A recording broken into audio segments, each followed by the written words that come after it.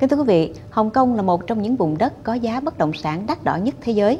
Căn hộ cao cấp, một số khu có hồ bơi riêng, rải rác dọc theo trung tâm tài chính châu Á bên cạnh cảng Victoria Harbour. Tuy nhiên, khu bất động sản đắt nhất Hồng Kông lại đối nghịch hẳn với sự sang trọng. Nằm ngay giữa quận công nghiệp Tai Kok Sui, một có một tòa nhà máy sản xuất, nơi đây không chỉ là nhà máy công nghiệp hạng nặng mà còn là nơi tập trung người nghèo nhất Hồng Kông. Yu Mai Chan, 50 tuổi là một trong khoảng 30 người sống trong căn hộ sửa đổi bất hợp pháp nằm bên trong tòa nhà công nghiệp. Căn hộ không cửa sổ của ông làm bằng các tấm gỗ và chỉ vừa vặn kê một chiếc giường đơn và một chiếc tivi. Du là một nhân viên bán thời gian và ông phải trả tiền thuê chỗ trú là 181 Mỹ Kim một tháng hoặc khoảng 5 Mỹ Kim cho mỗi phút vuông trong tổng số căn phòng bé nhỏ 35 feet vuông của mình. Trong điều kiện bình thường, diện tích bé nhỏ này không thích hợp để con người sống được nhưng một số người bắt buộc phải sống vì tiền thuê nhà rẻ. Hàng xóm của Du, Hoang, Sao Chan cũng trả tiền bằng như vậy cho căn phòng nhỏ như vậy.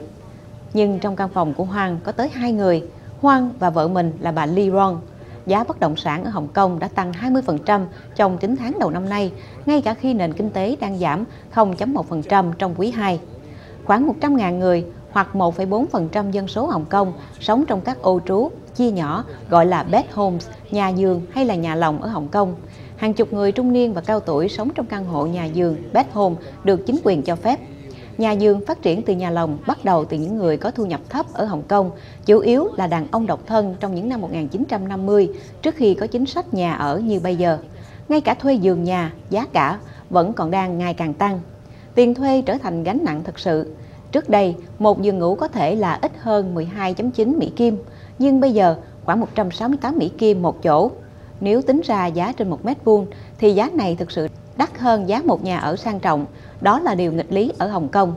Hơn 1.1 triệu người, tức là 17% dân số của Hồng Kông, sống dưới mức nghèo khổ trong năm 2011, họ kiếm được ít hơn 450 Mỹ Kim mỗi tháng.